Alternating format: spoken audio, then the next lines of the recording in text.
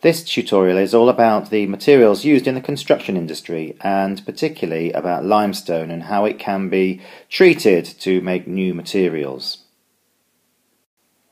Here you can see some of the landmark buildings in Nottingham in the United Kingdom and the very many different materials which are used to build these.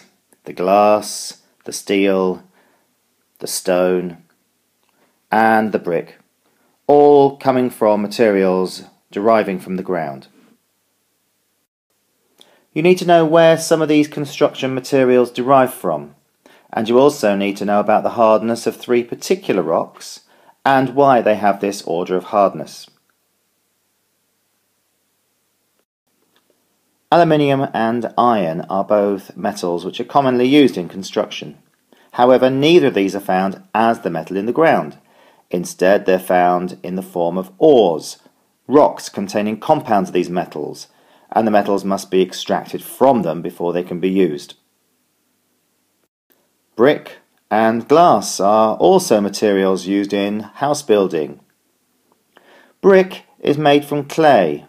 Clay is shaped and then fired in large kilns to make brick, whereas glass is made largely from sand which is heated to very high temperatures with other chemicals to make glass.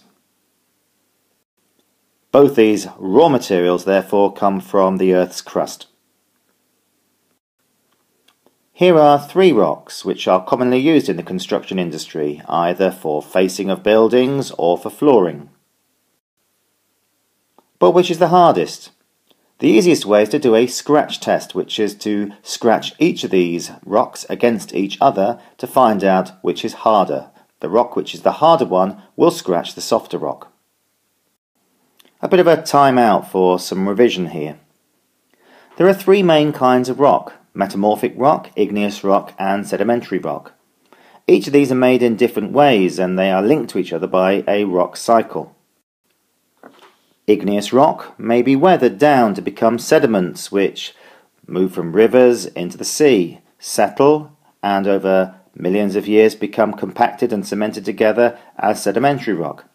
This may be buried deep and under the influence of heat and pressure turn into metamorphic rock, which is more crystalline. This may indeed melt and become magma to become more igneous rock. But each of these are linked with each other. Sedimentary rock is made from grains which are pushed together and is therefore one of the softer types of rock. Metamorphic rock is a rock which has been squeezed and pressed and therefore these grains have been welded together to form bands of crystals. Igneous rocks are made from crystals which are tightly packed together. So in terms of hardness, the limestone, the sedimentary rock, is the softer of the three because it can easily be scratched and made back into sediments again. Marble, a metamorphic rock, is made when limestone is subjected to intense heat and pressure deep underground. In marble, the original grains from limestone have been squeezed and heated until they become crystals which form bands within the marble.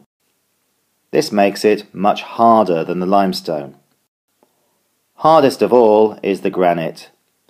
This, which is made when magma cools down fairly slowly under the Earth's surface, forms crystals which lock into each other and make the granite very, very hard. The remainder of this tutorial is about limestone, which chemically is calcium carbonate. Limestone can be made into lime or calcium oxide by heating. In industry, limestone, calcium carbonate, is heated in large kilns to make it into quicklime calcium oxide. This can be replicated in the lab by taking a small piece of limestone and heating it above a Bunsen burner for 10 or 15 minutes. It's then allowed to cool. Originally, the limestone would have no reaction with water, but after cooling, this heated piece would react vigorously with water, fizzing, as it reacts with the water to make slaked lime. Also, what we don't see, unless we heat the limestone within a boiling tube and collect any gas collected, is that as it's heated, the limestone is giving off a gas, carbon dioxide, and this gas would turn lime water milky. So the limestone, which is calcium carbonate, is broken down by heat to make quicklime or calcium oxide and carbon dioxide.